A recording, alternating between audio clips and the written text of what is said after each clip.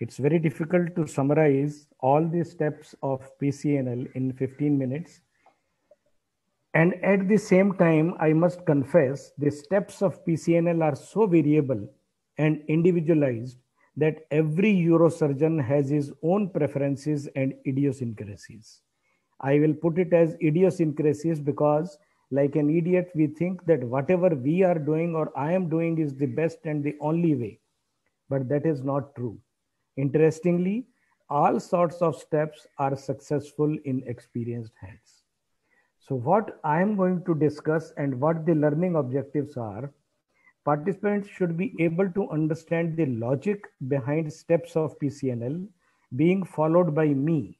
And if they are convinced, they should be able to reproduce these steps in their practice, which have been developed, adopted, and practiced by me over last 34 years for delivering successful outcomes with minimum complications. I don't have any conflict of interest and I have nothing to declare. So as all of us know, the most important step of PCNL is initial puncture and making, please remember every sentence, every word, a short, straight track through the convex border of the kidney into a calyx, landing into the pelvic calyceal system in alignment with the infundibulum. So this is what, if you are able to achieve in the beginning, your PCNL is successful. Now there are so many steps. Out of these steps, two steps I have deleted. I will not be deliberating more on these dilatation of the track and how to properly position the Amplatz sheath. The other steps I will try to cover in a, a very rapid way so that I can complete the job assigned to me. Regarding ureteric catheterization, which is the first step, I will say that it is a must in each and every case whether it is a redo, whether it is a relook, whether you already have a nephrostomy, because there are so many advantages of in situ ureteric catheter. It not only helps you in opacifying the pelvic calyceal system, it helps you to distend the pelvic calyceal system when you are placing the guide wire. Their space gets created between the stone and the pelvis and you can place the guide wire safely. It also confirms the accurate puncture by obtaining the free flow. And it is the ureteric catheter which will prevent the migration of calculi in the ureter by mere presence of it. Even if some fragments they go down, then you can flush those uh, fragments back into the pelvic calyceal system by withdrawing the ureteric catheter and pushing the saline from below. At times, the PUJ is so much edematous, red, congested, that you are not able to identify the PUJ unless you have a ureteric catheter in situ. It helps in placement of DJ stents. And if there is a big mistake like avulsion or the big perforations at the pelvic calyceal system, it provides drainage in difficult situations. So therefore, I always try to, I'll always recommend that you must put a ureteric catheter and then take the patient for PCNL as 80% of the world does prone PCNL and 90% of my cases are prone PCNL, I will be describing more about the prone PCNL. In prone PCNL, I put the bolsters like this in the vertical orientation covering from lower chest to the iliac crest. I feel that this type of uh, bolster gives a little counter resistance, counter pressure to the advancing needle when the needle is going in and touching and puncturing the kidney, there will be some counter pressure will be provided by this. Otherwise, the kidney is such a mobile organ that if you position the bolsters like this, the kidney moves forward and then the, uh, all your angulation also increases. And I strongly feel that your track also becomes longer when you put the bolsters like this, which should not be there. Although there has been a study and it was published as Does Bolster Orientation Matter in Urology 2017. And it has clearly shown that by putting the bolster horizontally, it increases the kidney to diaphragm, kidney to 12th rib, and kidney to vertebral body distance. But at the same time, the study shows there was no statistically significant difference in the length of the track whether bolsters were placed horizontally or vertically. But I feel when you put the bolsters horizontally, the track will be longer. Then I position the C arm and C arm is always positioned by me with the 30 degree tilt towards me. The image intensifier is hitting my head. The reason being when the patient is prone, his kidneys are oriented, sorry, supine, his kidneys are oriented like this. But as soon as the patient is turned prone, you see the kidneys are tilted at a 30 degree angle to the coronal plane.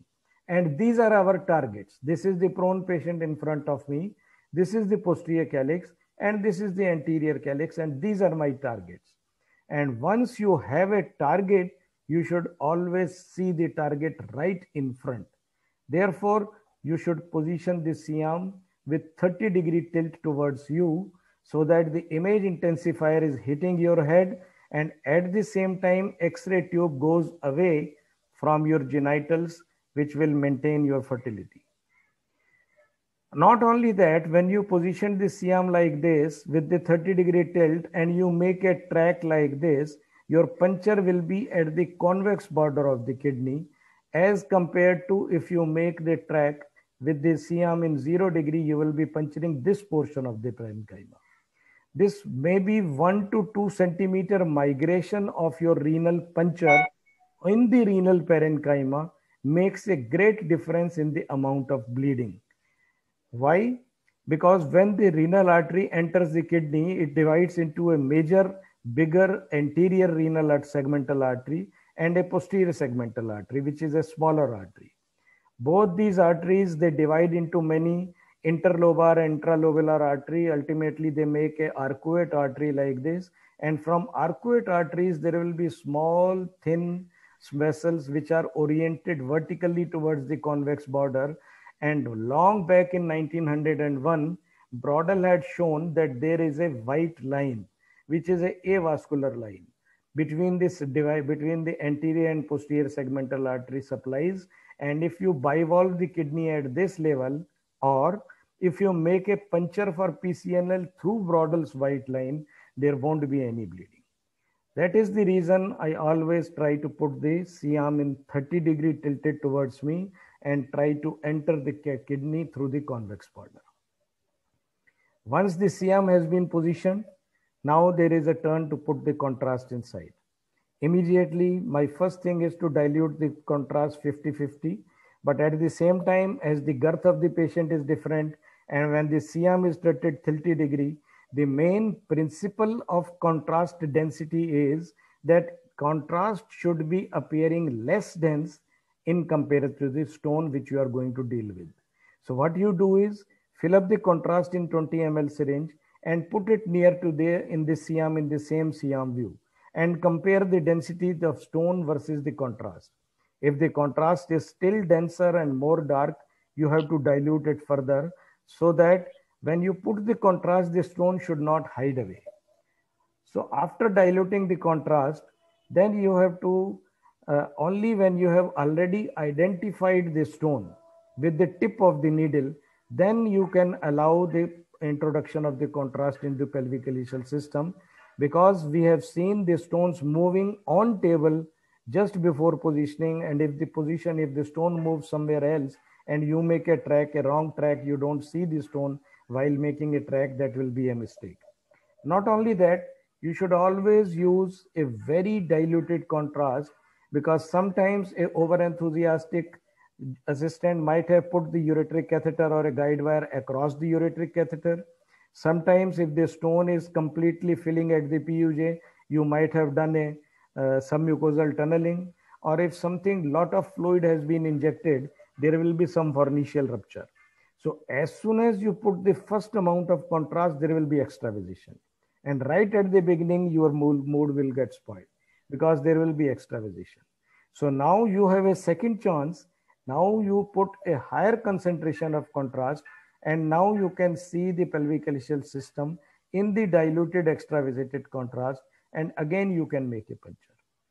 That is the principle of using contrast. I have never used air after 2002 as a contrast material because in 2002, one of my patients, she developed hemiparesis and it was very difficult to explain to a patient who has come for a stone removal and he goes with the hemiparesis.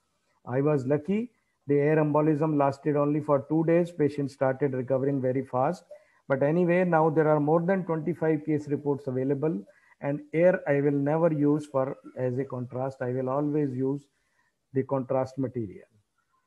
Once the contrast has been injected, now there is a turn to put this, you have to design your track and it should be a straight track in alignment with the infundibulum.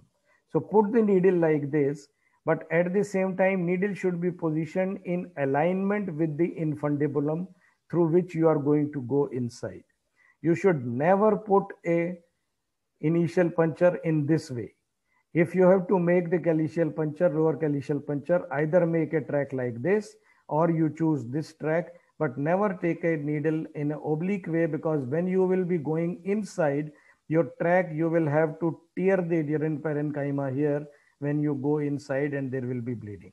So always position your needle in alignment with the infundibulum and then start putting the needle in.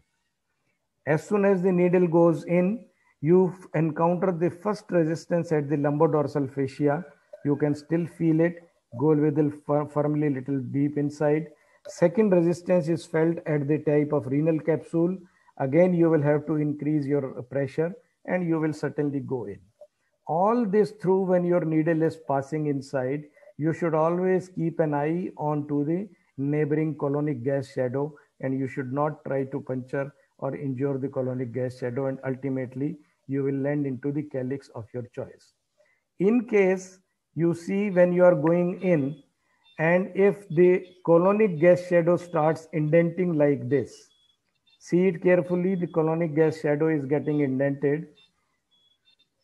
Immediately withdraw your needle. Now take the more medial puncture on the skin and again go in. Now the colon will not go, will not come on your way. Even if you perforate just by one needle puncture into the colon, it doesn't matter and you can just correct your ways and go inside. Now coming to the instruments which I use. First of all, initial puncture needle. Even today, my success rate is 1.6. Not every puncture of mine is 100% successful. My 0.6 punctures are useless. Earlier, it used to be my 10th puncture used to be successful and all the previous nine were useless, unnecessary punctures. So all unnecessary punctures should be made with the thin needle and therefore I choose a three part needle which has a longer thinner needle which makes the first passage into the pelvic calyceal system. And once we aspirate the fluid and I am sure that this particular track I am going to use this is my successful puncture. Only then I thread in the thicker part of the needle the 18 gauge needle over this 21 gauge thin needle. And then when I reach my this inner this outer needle reaches up to the tip, I withdraw the third, this uh, thin needle and pass the guide wire. So I always use a three part uh, needle in place of two part needle so that all my punctures, all my unnecessary punctures are thin puncture are thin punctures and only the successful one which I have chosen then for passing the guide wire, I'll take the thicker needle inside. Regarding guide wire, there are so many types of guide wires are available and my choice has always been the stainless steel Teflon coated uh, J-tip guide wire. Out of these, one thing, it is a very cheap guide wire and it has got a J-tip it is not unusual even the terumo sometimes when the patient reach to us and they really get eh, they really agree for going for surgery there is a lot of pain and there is so much of edema inside that your guide wire can go out. And if you use a, a straight tip guide wire many a times it will straight tip guide wire will pass through the submucosal tunnel. And if you dilate and make a track and passing double stent will be very difficult so I always use a J-tip guide wire because when the J-tip guide wire, as soon as it comes out of the needle tip, it acquires the shape of J. And then any further progress in the pelvic calyceal system is with this convex border of the J-tip and it is a very smooth progression inside as you are seeing in this. It is going through the calyx, it is non-traumatic, it will hit the pelvic wall, it is bent, and then it will make its space. While a straight guide wire, straight tip guide wire, particularly the zebra guide wires, are likely to make submucosal tunnels and they can go out. Therefore, a J-tip guide wire I am using and this it finds its path with its J-tip and soft semicircular part forward, thus minimizes the chances of false passage and perforation. Not only that, unlike zebra, which is zebra and terumo, they are good guide wires, but at that time they are very slippery and they tend to slip out when you need them most. Therefore, your half of the attention is always on placing and fixing the guide wire. With this J-tip guide wire, it is not so, and you can very easily do it.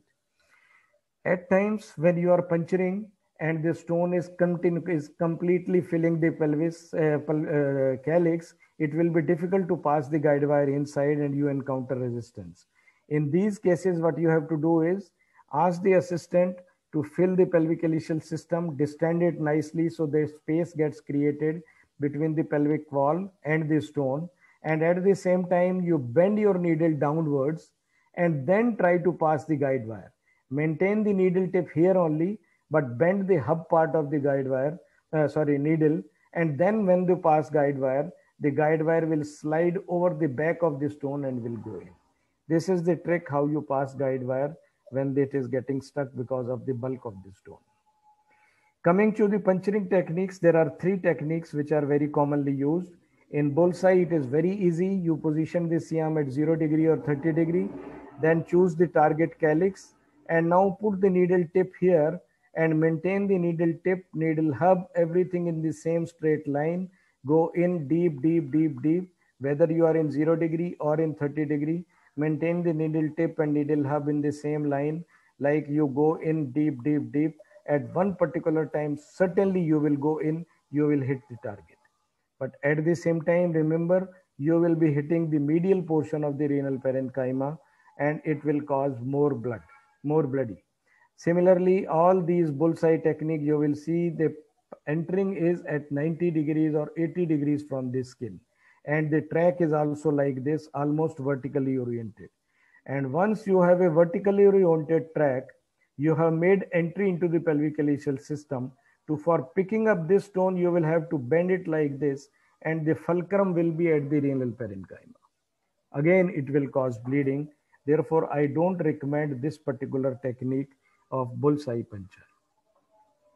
A triangulation technique is just a mathematical bullseye technique in that you position the C-arm at zero degree, then take a point here. Uh, this is the target point. Now position the C-arm in 30 degree and take a point B over here and measure the distance between A and B. Now actually you have created a right angle triangle over here with the 90 degree here and this is the hypotenuse and hypotenuse is always twice the length of AB. Hypotenuse is the line between the in front of the 90 degree angle. So what you have to do now is position the after you have measured the distance between A and B, if it is three centimeter, now mark the needle as six centimeter, just the double of that. And with the C-arm in 30 degree, start entering from here exactly six centimeter and you will enter the uh, target calyx. So this is how it is actually a triangulation technique is just the mathematical calculation to tell you how much deep you have to go. If your angle over here is not 30 degree, it is 45 degree, the length will be 1.4 times than the distance between A and B. So all these trigonometric calculations, they tell you how much depth you have to go in from point B and you can enter into the system. I don't recommend this particular triangulation technique also. I always recommend to use a gradual descent technique where you are gradually descending through the convex border of the kidney inside through the white line. In this, you position the C-arm always at 30 degree, but don't start your point of entry here at the target. From the target, you make a lateral distance of three centimeter like this and make the skin puncture from here and then start entering inside. Now you are gradually descending into the pelvic calyceal system like a aeroplane run comes onto the runway slowly in a straight way in alignment with the infundibulum so that you can go up to the renal pelvis in a straight manner and you enter through the convex border with the minimum amount of bleeding. When you are following this technique, you are entering through the white line or through the convex border of the kidney and there will be least amount of bleeding in these cases. So when you are making a puncture, always puncture the most lateral calyx with the thinnest overlying parenchyma, which has a wide infundibulum to work through and is in direct alignment with the pelvis. But if you have a associated pelvic calculus like this, you should always puncture the stone bearing calyx and go inside. Don't bother whether it is an anterior calyx or posterior calyx because there are two types of kidneys. There are Brodel type of kidneys which Dr. are common the right side. little bit. Yeah, I will just finish with this only. Thank you. So when you are entering through the Brodel, when the, you are going through the Brodel's kidney, you have to puncture the posterior calyx. And when you are uh, having a Hodson kidney, you have to puncture the anterior calyx to go in. Don't bother about whether it is a posterior calyx or a anterior calyx. So I will stop short over here. There are techniques for maximum stone clearance, which I wanted to discuss, but with the time, I may not be able to discuss that.